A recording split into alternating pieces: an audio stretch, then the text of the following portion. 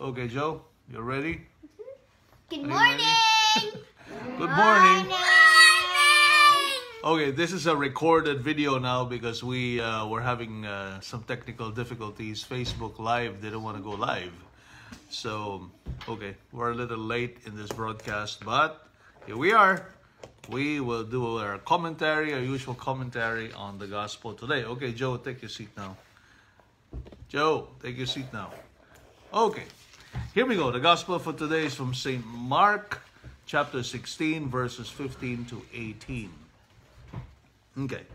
Jesus appeared to the eleven and said to them, Go into the whole world and proclaim the gospel to every creature. Whoever believes and is baptized will be saved. Whoever does not believe will be condemned. These signs will accompany those who believe. In my name they will drive out demons. They will speak new languages. They will pick up serpents with their hands. If they drink any deadly thing, it will not harm them. They will lay hands on the sick and they will recover. Isn't that amazing? Could you imagine if you had those powers now? Right?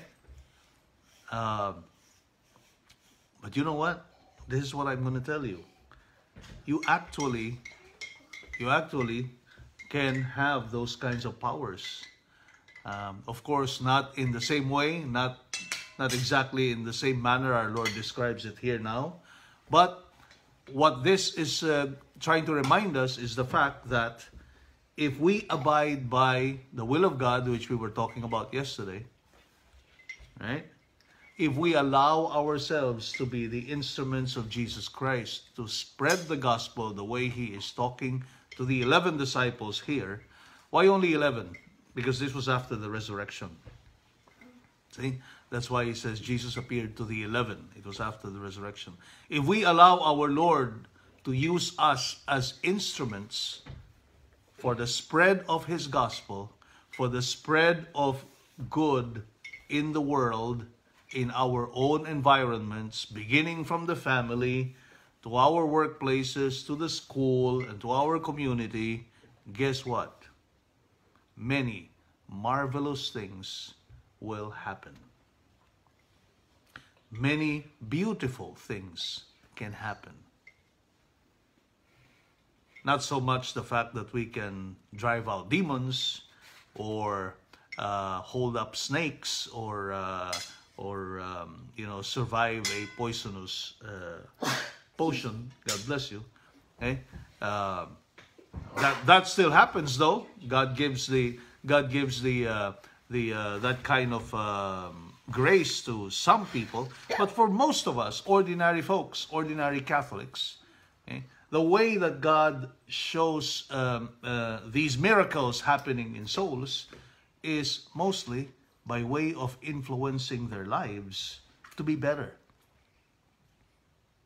It is by way of giving them the grace to live better lives as a consequence of our manifesting to them the message of the gospel, the message of Jesus Christ. How does that happen? Okay? So God uses us as instruments in order to give grace to other people. God uses us as instruments uh, and, and uses our own lives as testimonies that the gospel message of Jesus Christ is in fact something that can be lived, something that can be a reality in the lives of all of us in the middle of the world. And for those of us who are not priests or nuns or preachers, the, the way that we will spread the gospel to other people is number one, by Um, good example. good example, Joseph. Very good. By living, by showing good example, by showing that we are living up to the gospel message and that it is a reality in our own lives. see? That we are uh, living examples of uh, um, practicing what Jesus has taught us in, through the Gospels. And if we are practicing these things in our lives and other people see it, then hopefully they will be enticed to follow our example and follow Jesus Christ as a consequence. Okay? Follow suit as a consequence. And for those of us who have been given the opportunity and are being given the opportunity to speak up and to advise others and to proclaim the gospel in, in, in uh, other ways, then we should not shy away from those uh, kinds of opportunities. We should rather take upon ourselves the challenge and the opportunity to do precisely that. Okay? To be a, a, uh, a witness of the gospel to others. And the rewards are going to be great. Not so much for ourselves. Well, for ourselves, yeah, the rewards will be great too, right?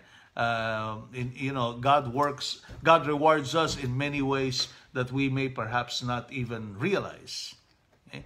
But the rewards of our um, um, witnessing to Jesus Christ on other souls will also be great. Will also be great. God works wonders in souls way beyond our imagination.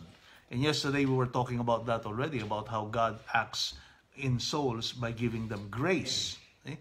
By giving them grace. So if we just allow ourselves to be instruments of Jesus Christ for other people, to see Jesus and to, to understand Jesus' message, then God is going to give them the enabling gift, okay? Eh? the empowering gift which is grace, the gift of being able to act upon the gospel message, the, the gift of being able to live out the gospel message in their own lives. That is what God is going to give to them. And that is the miracle.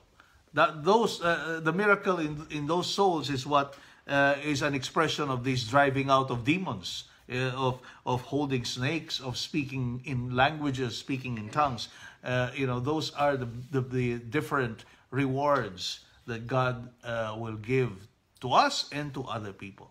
But we have to be, we have to have the disposition of being willing instruments, to be to be open to the possibility that Jesus Christ is using us to spread the gospel, to spread the good news, to do good in our own environments. And you know, uh, we have one very recent uh, experience.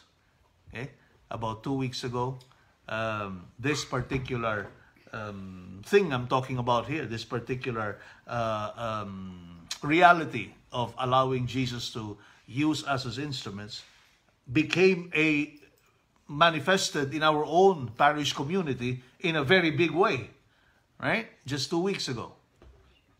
You remember what I'm talking about? Mm-hmm. What? What? What am I talking about? Huh? Okay. for for a very long time now, well, we had been talking a lot about the need to take better care of the Holy Eucharist. We have been talking about uh, all the accidents happening in our parish about the Eucharist, and uh, we have been uh, talking about how we should treat our Lord in the Holy Eucharist better. And we have been advocating the, uh, the return to uh, the more dignified manner of receiving our Lord in the Holy Eucharist. And, uh, well, modesty aside, yeah, we had allowed ourselves to be instruments of Jesus to spread this kind of um, message in our parish and um, to other people through uh, these um, live broadcasts on Facebook. And the truth is, well, thanks be to God, two weeks ago, our pastor came out with a um, an article in the front page of our parish bulletin where he now encouraged and continues to encourage everybody to receive Holy Communion in the tongue.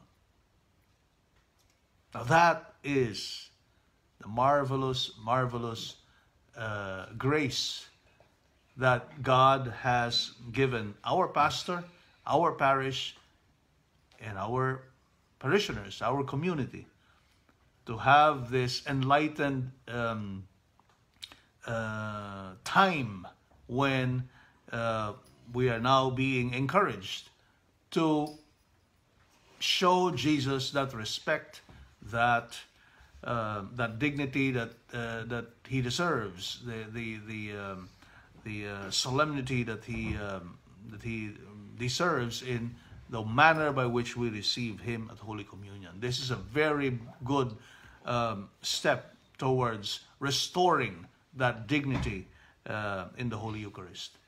And, well, that was a victory that was won uh, not, not in a very easy way. that was a victory won with plenty of um, uh, sorrow, plenty of heartaches, plenty of uh, um, tension uh, in the parish, plenty of uh, disagreements, yeah, with other people. Uh, but in the end, the grace of God will always win. The grace of God wins at the end, as long as we allow ourselves to be instruments of God to do good and to spread the gospel message. So that is a very, very concrete example to all of us, right?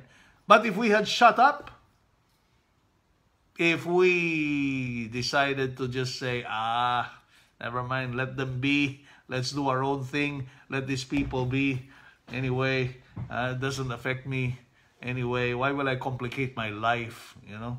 Why will I make things harder for me?